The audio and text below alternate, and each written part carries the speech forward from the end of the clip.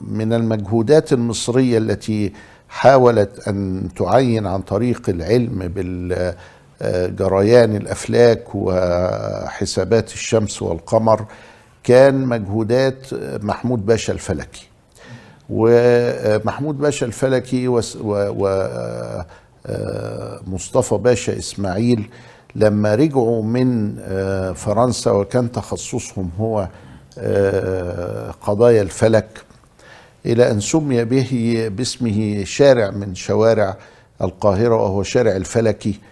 ومحمود باشا الفلكي من الأبحاث التي جمعت بين الأصالة والمعاصرة أو بين الحفاظ على الهوية المصرية باعتبار أن الهوية المصرية تمثل الإسلام والعروبة.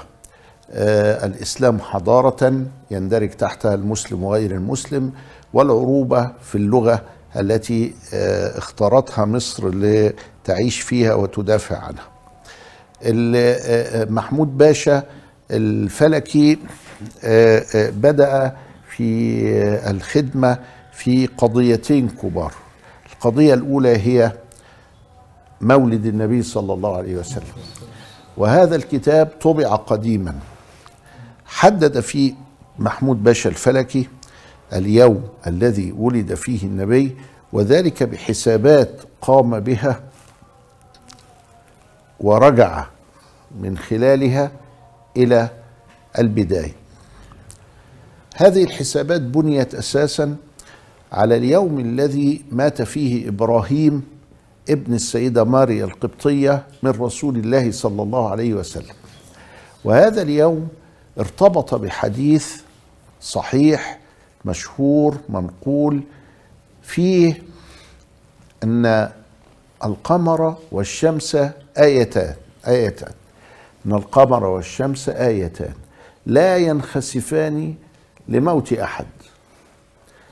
اذا هذا الحديث قاله ردا على بعض الهمهمات التي كانت موجودة عندما مات سيدنا إبراهيم عليه السلام ابن النبي عليه السلام وهو طفل ما تجاوزش السنتين. ف آه، تكلم الناس أن الشمس قد كسفت من أجل إبراهيم. فقال لا إن القمر والشمس آيتان لا يكسفان ولا يخسفان لموت أحد. فأخذ محمود باشا الفلكي هذا اليوم وكسوف الشمس محسوب بدقة متناهية لأن مسار الشمس سبحان الله لا يتقدم ولا يتأخر على مستوى الفيمتو ثانية على مستوى اللحظات. وسبب ذلك هو أن الشمس ثابتة وأن الأرض حولها تدور بخلاف الحركة الظاهرية التي فيها تخرج الشمس من المشرق وتغرب في المغرب فهذه حركة ظاهرية تنطبق تماما على الحركة الحقيقية لدوران الأرض حول نفسها وأنها تدور حول الشمس فتحدث ظاهرة الليل والنهار بدورانها حول نفسها وظاهرة الفصول الاربعه الأربعة التي تنعكس ما بين الشمال والجنوب في الدوران حول الشمس. اذا فحركة الشمس آه، غاية الانضباط. لكن حركة القمر ليست منضبطة غاية عدم الانضباط. يعني لا تنضبط ابدا ومن هنا يعمل لنا مشكلة في رؤية ال ال ال الهلال ورؤية الشهر الجديد والناس مش واخدة بالها أن حركة القمر لا يمكن حسابها ده الكلام ده كلام الفلكيين الفرنسويين والإنجليز وكذا إلى آخره وظلوا في هذه الدراسات مدة طويلة وانتهت تلك الدراسات في أوروبا سنة 1906 آخر أبحاث عن أضواء السماء كانت 1906 بعد كده عد أن النتائج التي توصلوا إليها عبر هذه ال ال الأرصاد ال- المتتالية توقفت وأصبحت من البدهيات. ولذلك لما بنروح لهم النهارده ونقول لهم ده إحنا محتارين في شهر رمضان يضحكوا. لأنه آه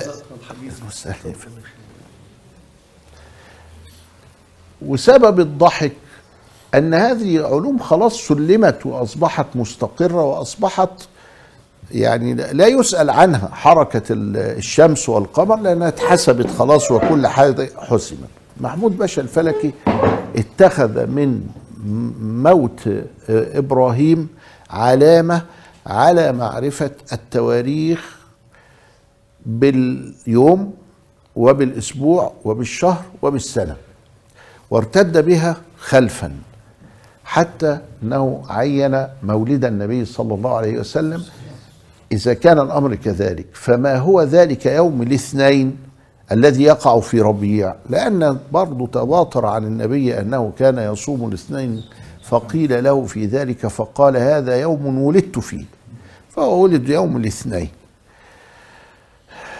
وبعثت فيه. وهو دخل المدينة في يوم الاثنين 12 ربيع الذي هو نحن ننسبه ومات في 12 ربيع أيضا. ويوم أود أن ألقى الله فيه. وقد لقي الله سبحانه وتعالى في ذات نفس اليوم اللي هو 12 لكنه كان الاثنين مش 12 وده. فمحمود باشا الفلكي لما حسب هذه الحسابات اتضح له أن اليوم الميلاد الشريف هو ثمانية. ثمانية ربيع الأول. وليس 12 بناء على إن 12 ده هو كان ثلاث آه أربع خميس جمعة. ده كان يوم جمعة يوم 12 ربيع الأول. في هذه السنة التي هي 570 ده كان يوم 12 ف لما رجعنا للروايات وجدنا إنه ثمانية وارد. في روايات أهل السير ثمانية وارد و12 وارد و17 وارد و21 وارد.